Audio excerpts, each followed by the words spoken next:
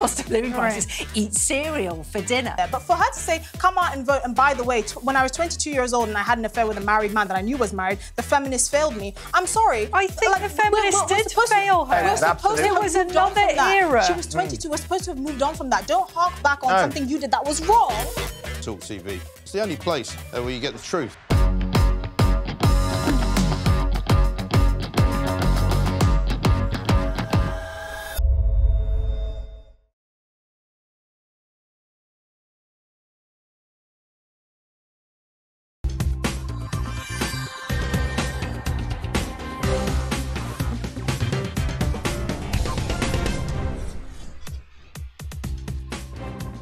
Good morning, everyone, and welcome to the show. I'm Kevin O'Sullivan. And I'm Alex Phillips. We're with you for the next half hour to grapple with the greasy world of news like oiled up MMA fighters. You're with Talk TV, on TV, on radio, online, and on your smart speaker. MMA fighters, eh? Let's uh, fight our way through 30 thrilling minutes of the big headlines of the day. And the first story we're going to cover now only happened four hours ago. The most mm. extraordinary disaster. Uh, a cargo ship sailing out of Baltimore Harbour here we're seeing hit the Whoa, bridge, and that bridge with cars and people on it collapsed like a sardine can. That is, uh, we're told, one of the world's longest truss steel bridges. So it's a bridge of a certain kind. It's been there for some time. It's called the Francis Scott Key Bridge. Uh, 20 people are missing at least. Cars have gone into the river. Uh, and uh, one particular captain, I think, is having a very, very bad day. I mean, quite how it managed to collapse when he hit it right over the side, God knows. But what well, a story! It's astonishing, isn't it? You very rarely see a spectacle These are live like pictures, that. by the way. The, uh, I mean, that operation. is costing billions. But what we don't know yet is the cost of lives, the casualties involved. There could be up to 20 people and several vehicles in the water. That's according to Baltimore City Fire Department. Um, but we're not going to be getting more information on that. I wouldn't have thought until much later in the day. But astonishing, you would think, wouldn't you? I mean, I don't know the sort of relative weights and the forces of uh, these two giant sort of megalithic structures, but the idea that a ship going at whatever speed it's going can take down a whole bridge and not just sort of stop the ship and grind a halt is utterly astonishing. It does sort of call into question the resilience of that particular structure. Um, but, you know, tra- tra- absolute tragedy, frankly. This is going to be a huge rebuild in Baltimore. And like I said, we don't know if people have lost their lives. One imagines if there were people on that bridge in, in vehicles at the time, uh, and that the reports are suggesting there were, that it'd be potentially quite difficult to survive falling into water in a vehicle. But it's, uh, I mean, just astonishing, astonishing pictures. Yeah, indeed. And I know Baltimore a bit, and that bridge is uh, crucial. Uh, to that city. Uh, getting around Baltimore is going to be very, very difficult mm. while they mm. rebuild that bridge. But more pressingly, uh, urgent searches going on of the river there. Uh, and uh, the fire brigade, the police, everyone are there uh, as we say, up to 20 people, several vehicles are reported to have fallen into the river. Uh, I, I, guess the only good uh, thing about this is the timing. It would have been about 1.30 in the morning local time, so at least it wasn't rush hour traffic or anything like this. But someone, people were on the bridge, mm. And the search is now going on of the river. How is it when you've got a massive girt vessel like that that you don't know is not going to fit under that bridge? You know, my dad was a car transporter driver driver and you know the height of your vehicle and you know the height of every single bridge. And Baltimore is a massive port in America, absolutely vital, a huge sort of artery for cargo going into uh, the East Coast. And you would think that any giant vessels bringing cargo in and out of uh, Baltimore port would, would know whether it could fit under that bridge or not. Uh, indeed, uh, it's really weird the way it hits the bridge right at the sort of right hand side as if they're almost in the shallow end of the river. You might have thought it would go right. through the middle. But anyway, uh, this is all speculation. We'll be bringing you much more about mm, this uh, massive developing story later in the show on Crosstalk at 1 p.m.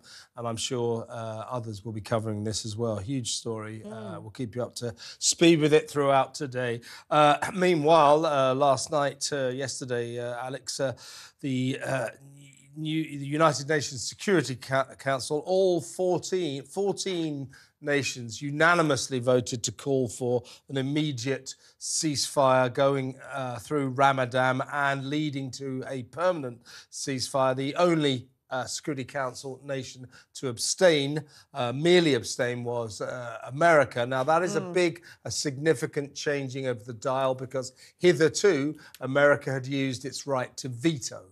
Today or yesterday, it decided just to abstain, which means this becomes official. The United Nations Security Council is now officially demanding a ceasefire mm. in Gaza. Benjamin Netanyahu has, has responded by cancelling a delegation trip to the USA yeah. and uh, angrily uh, denouncing America for saying you've just changed your position. Well, Benny Gantz has turned around and said the resolution has no operational significance for Israel and the military will continue to operate in the Gaza Strip on Tuesday. But yeah, this is interesting. It is sort of driving a bit of a wedge between Israel and the United States. A lot of dismay, actually, in Israel and uh, in the government at the moment, which of course is a coalition government being propped up by very right wing parties. Um, and people sort of saying, well, look, his uh, Netanyahu's need to appease his coalition partners is actually creating a wedge now between Israel and the United States. Um, but it seems to me that uh, Netanyahu's just saying to the United States, don't care. You've abandoned your previous policy, probably thinking there's going to be a regime change and Trump will be back in anyway, who I think is going to be far more supportive mm. of Israel's actions there in the Gaza Strip. Important to point out, though, that this resolution also called for the release of all hostages. So there was a sort of degree of even handedness to this, basically just saying that this needs to end now. Also, I think important to point out that UK aid for the first time is now being airdropped into Gaza. Yes, uh, the important part of that story, though, is the increasingly frosty relationship between America and Israel, obviously, traditionally, historically, very close uh, allies. They always work together. Israel never seemed to do anything without mm. getting Washington's permission first. Well, that relationship is disintegrating fast. Netanyahu furious with Biden, just saying, We're not coming on this delegation to Washington, uh, and you've just changed your policies, you've abandoned mm. us. Uh, and uh, basically, uh, if Hamas released all the hostages, then there might be something to work with here. But they're not going to do that, and yeah. therefore, uh, this is just the United Nations blowing hot air. Netanyahu won't do time, anything to change his you know, current. If you position. suffer from something like cancer and you're having chemotherapy, you don't go, well, you know, let's finish chemotherapy and leave some of the cancer lurking around in my body because it's going to come back. And this is the Israeli argument against Hamas. These are bloodthirsty, highly funded terrorists who are determined to wipe out the Jewish state. And so you leave Hamas in place, you don't manage to completely destroy Hamas, and they will reform. It will only be a matter of time. Right. Uh, still with uh, potential enemies, China uh, is responding now to uh, the threat by Britain to label it an official threat to this country. This is because of its cyber attacking activities to 2021. We're officially mm. now blaming the Chinese for a massive hack uh, which uh, compromised the personal details on social media of 40 million Brits. We're officially blaming Beijing for that. And uh, we're gearing up today uh, to uh, actually uh, officially say that China is a threat to this nation. Yeah. Uh, let's have a listen to uh, the Deputy Prime Minister, Oliver Dowden, in the Commons yesterday. Taken together, the United Kingdom judges that these actions demonstrate a clear and persistent pattern of behaviour that signal, signals hostile intent from China. That is why the United Kingdom has today sanctioned two individuals and one entity associated with the Chinese state affiliated APT 31 group. So we've got here state-backed espionage on an industrial scale, 40 million people's records accessed via the Electoral Commission. What they were looking for were what are called invisible voters. They weren't looking for Kev or me. They were looking for people who work in the intelligence sector, whose details do not appear in any sort of public domain. And they use that to find addresses, track people. They have surveillance, which enables people to be identified simply via the gait of their walk, which is something that can never be altered, apparently, even with surgery. Um, and this state-backed espionage on an industrial scale, one of you know numerous crimes essentially that China has committed. And what? We've stopped two people from getting on an aeroplane. Yeah, well, That's this it. is This is being seen by uh, many people in politics and indeed around the country as an extremely feeble response by Britain uh, to China, which of course supplies us with so many goods. Uh, so, uh, Ian Duncan Smith, one of the people who's been warned uh, that he will be uh, the victim of a big cyber attack by China soon. Several politicians mm. have been warned they're in the frame. Anyway, Ian Duncan Smith, after Oliver Dowden's feeble statement, said this. It is a little bit, this statement, like an elephant giving birth to a mouse. Why two? America has sanctioned over 40 people in Hong Kong. We have sanctioned none, and three lowly officials only in Xinjiang. Surely this means that the integrated review should now be changed. They are not an epoch defining challenge, strange as that may be, but they are surely a threat, and can they now correct that so that we all know where we are with China? Well, you would think he'd be able to be questioning the Foreign Secretary and all of this, because that's his portfolio, portfolio. But as we know, Lord Cameron of Xi Ping Norton, great friend of Beijing, isn't even elected and can't be held to account by the Commons benches. That, Slow round that, of applause to Rishi that, Sunak for that, that appointment. Wonderful? But isn't Ian Duncan wonderful? Smith, very, very angry there, and I think he represent, so. represents the feelings of a lot of people. It's no, no good saying, China, such a threat to us. Look what it did in 2021. Ooh, we're going to tell two people off. Big deal. Uh, either we respond or don't bother. But later today, it may be that the British government officially calls the Chinese government a threat to this How can country. they do that with Lord Cameron as well, the, well, well, What's he going to do? Don't need Sanction him. himself? We, we don't necessarily need him there. We'll get no, the Prime we Minister. don't need him. Well, we need him like a yeah. bullet in the brain. They can do it without him, and they may well. Uh, right, uh, we have to do it. They have to do everything without him because he's not allowed into the chamber. Make of that what you will. Great, isn't it? Uh, anyway, uh, let's move on to Russia. Now, ISIS, in response, uh, what I thought was extraordinary uh, yesterday and the day before, Alex, was the way that Russia, they don't mess about.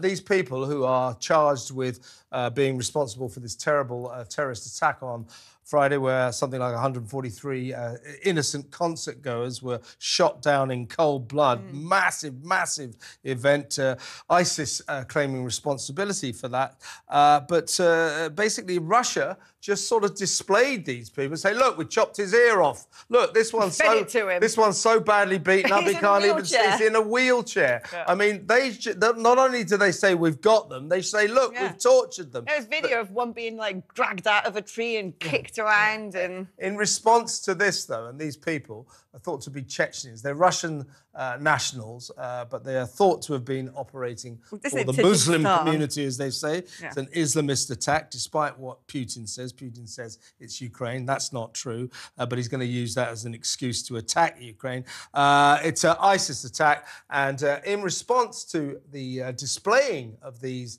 people who have been tortured. ISIS has said, you know, you don't scare us, and because you've done that, we're going to massacre you and they are threatening more and more yeah. bloodthirsty attacks. I mean, what's interesting about this branch of ISIS, ISK as it's known, Khorasan, is that uh, they are, they've planned a lot of huge attacks. They've had attacks against France that have been foiled. They're planning attacks here in the United Kingdom. It's a new and extra bloodthirsty branch of ISIS who are pretty unhappy that they think the Taliban in Afghanistan are on the side of the West.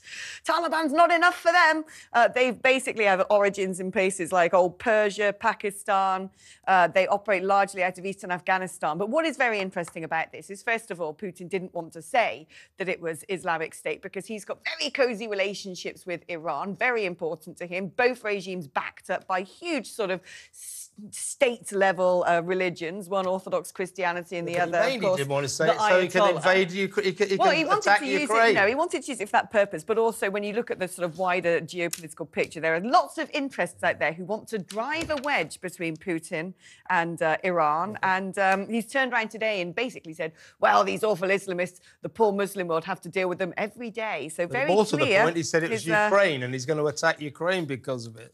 Uh, let's move well, no, on. He's now said it's Islamic State. Yeah, so he but, just said, why but he is going to use it to attack Ukraine. Now, let's talk about Kate Uh, the Princess of Wales, there's brave revelation last Friday that she's suffering from uh, cancer, uh, has inspired hundreds of thousands of women to get checked. Uh, so that is good. Cancer charities and the NHS saw a surge in online visitors following Kate's video on Friday. Yeah, so, if only we had an NHS that was able to deal with all of that. Um, but it is quite alarming. You know, it, it sort of brings into sharp focus some sort of strange thing that's happened over the course of the last 30 years, which is the huge uptick in cancers, particularly abdominal cancers, in women under the age of 50. We now have uh, of, sort of women in the 30s, 40s, a far higher rate of getting early onset cancers than men. And people don't quite know what's going on. This is happening across the Western world. And I think a lot needs to be looked into. What sort of changes in lifestyle and what is in our water uh, is actually causing the, the rapid growth of cancers in young people. Yeah, it's, huge uh, surge of cancer all over the world in the under 50s, and uh, Kate may well be a victim of that. So that needs to exa be examined. And also, uh, one other thing that happened yesterday: the London, uh, the UK, uh, the American ambassador here in London said that Prince Harry will not be deported under Joe Biden. Uh, Trump has promised that maybe he will be because he might have lied on his uh, visa application. And uh, of course, the Democrats are supposed to be, you know, the party of the people. They're all three bags full, sir. Yes, sir. Yes, sir. You can stay in our country, sir. We'd be very, very honoured. Donald Trump said, if you lied on your visa, you're out. I'm not looking after you. Here's to Donald, in my in my view. What? Uh, we have to have him back. Uh, yeah, well, there is that. Well, that's I don't good, want him. That's a good point. They can Let have the him. two orange men both stay in America. Uh, but I think he might not if uh, Donald gets in. So interesting. Uh, now let's talk about Johnny Mercer. Johnny Mercer has been given 10 days to name Special Forces whistleblowers who raised concerns about the alleged executions of Afghans uh, and if he does not do that, this, of course, is during the Afghan war, if he does not do that, he faces a possible jail sentence or a fine. I thought, Alex, that we'd brought in a law to protect whistleblowers if they are revealing important, uh, useful information. Yeah, this is a really astonishing story. Of course, the former Veterans Minister, um, he has had people report things to him. He doesn't want to give names. He wants says he wants to protect himself and the integrity of colleagues. Um, but it, this does sort of raise raise huge questions, doesn't it, about what is acceptable in the theatre of war? When does actually acting in protection of your country and in, uh, in service to your monarch uh, cross the line and then become uh, sort of arbitrary and brutal acts of murder and torture? And uh, there's got to be a fine balance here between making sure we operate uh, in accordance with uh, what is expected of us internationally, legally and morally, but also protecting those who do serve their country. And the fact that here you are, a sitting MP, 10 days now to name those whistleblowers or potentially go to prison. It's uh... April the 5th. A lot of journalists go through this. Uh, reveal your sources. No, we won't. If you don't, you'll go to jail. Uh, Johnny Mercer finds himself in that position. He won't give up those names because that's the honourable thing to do. He's an honourable man. You don't rat on people. It's as simple as that. And I don't like a law system that tries to mm. make uh, a minister of this realm uh, turn into a sneak. Uh, so uh, good for Johnny Mercer. I stand with him. Shamima Begum Uh, has lost an initial bid to challenge the removal of her British citizenship. She wanted to go to the uh, Supreme Court, yet removal of her British citizenship. She wanted to go to the uh, Supreme Court yet again to say, give me my citizenship back. She can't have it. Every time she does this, it costs us right. taxpayers more money. Why doesn't she go away and just learn to live with the fact she ain't ever coming back and she's not getting her what passport What I don't understand now about the legal system in this country is the fact that you can keep losing cases and keep appealing appealing them over and over, over again, again yeah. especially if we're funding it. I'm sorry, love.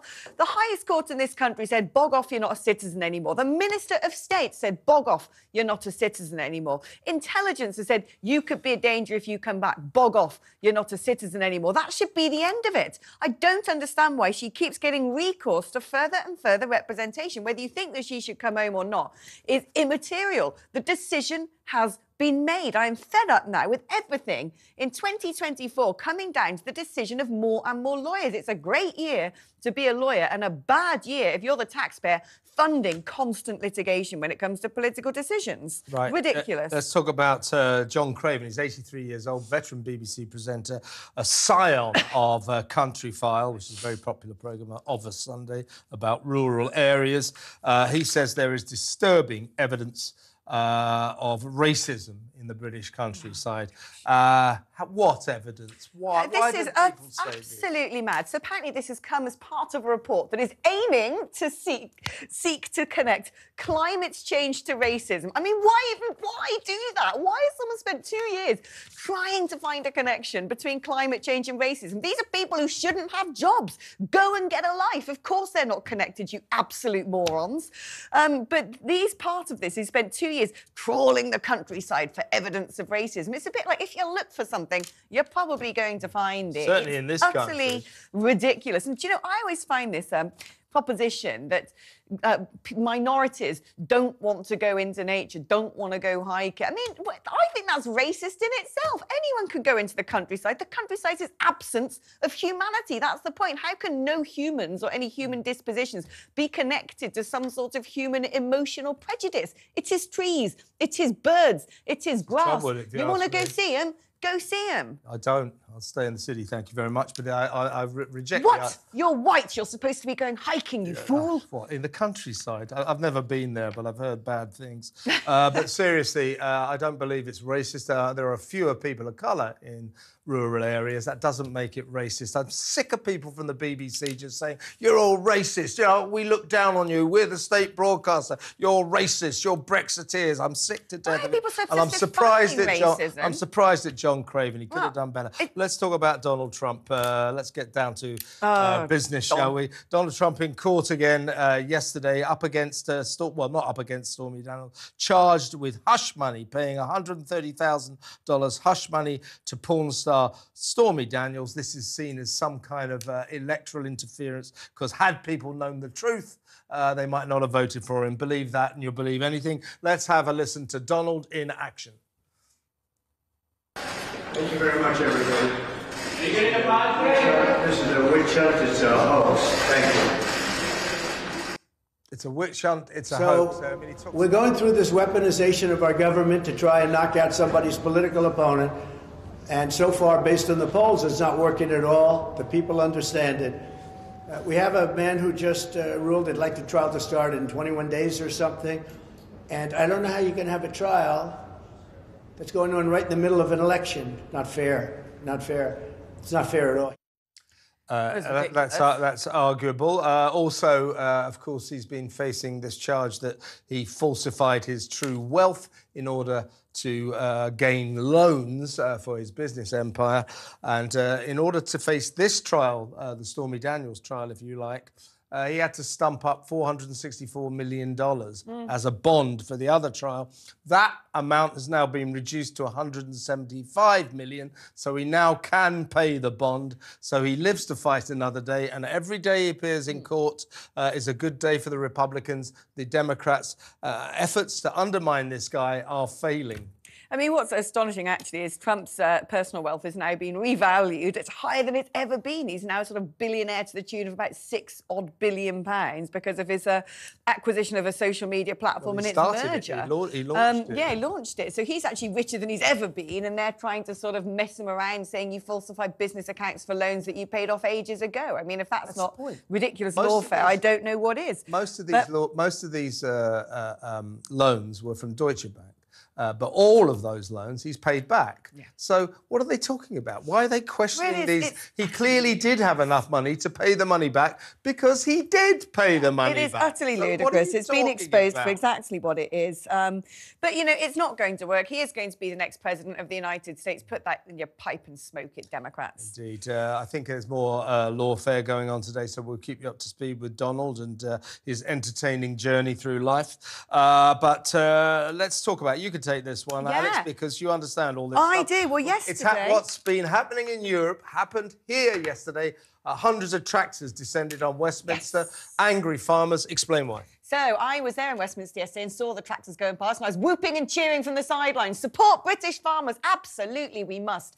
Now, this is a hangover, really, of European Union membership. Farmers are utterly sick to death with having to sell whatever they produce, whether it's meat or crop, lower at the, at the farm gate, lower than it costs to actually produce it. At the same time, you've got all this sort of net zero legislation saying, oh, you can't actually farm your fields. You've got to rewild them and plant wildflowers and this, that, and the other. Don't actually grow food. Don't produce food. Just have all the fields that you own lying completely dormant so you're going to make less money. Then at the same time, you've got the blight of massive foreign imports, which cost far less to produce than what we produce because British farming is some of the best in the world. We have old fashioned pastoral methods. We graze our cows outside, not in massive, horrible hangars where they're sort of trussed up to giant walking machines and eat pig's brains. Well, we did invent that, didn't we?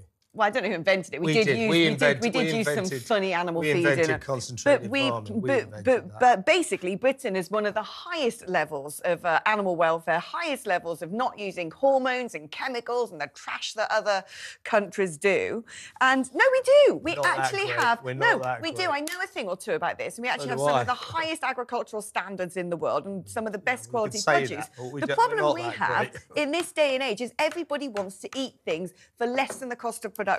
If you actually look at the cost of, say, a chicken back in 1940 compared to now and actually offset it against inflation, it was far more expensive back then because do you know what? People buy a chicken and feed a family for a week. Now people want to buy a pack of eight chicken breasts, eat two, throw the rest away. They're lazy, they're feckless, they're greedy, they're getting fat, they don't know how to cook properly. And we need to protect our farmers because if we don't, and if we kill off agriculture in this country, we will be in trouble. It's a huge security risk. Don't you care about the lazy fat people who don't care how to cook properly?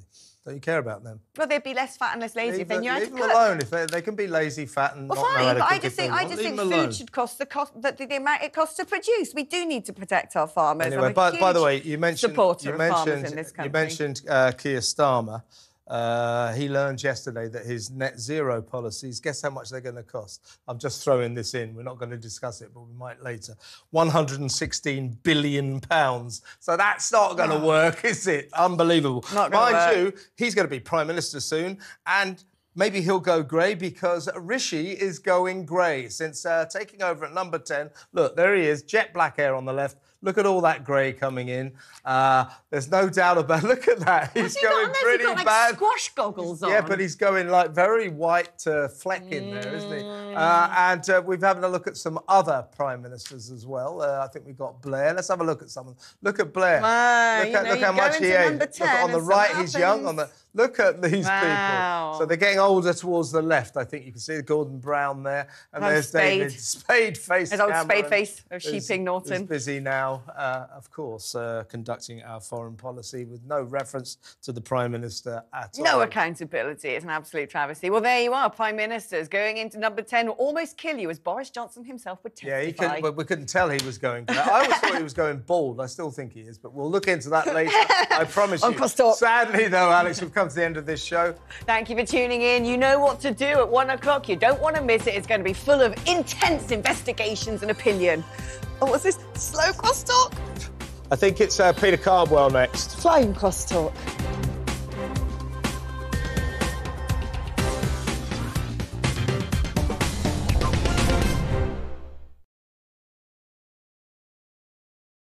Hey, very good morning to you. Thanks for joining us. You're with Talk TV on TV. On radio. Online. And You're on your smart speaker.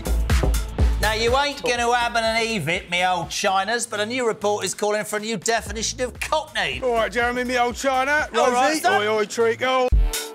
When J.K. Rowling says, let's just be honest, that's all she's saying, let's just be honest. When a man goes out and kills, we should talk about them as what they are a biological man. Trans woman, it's not a woman, trans woman is a man.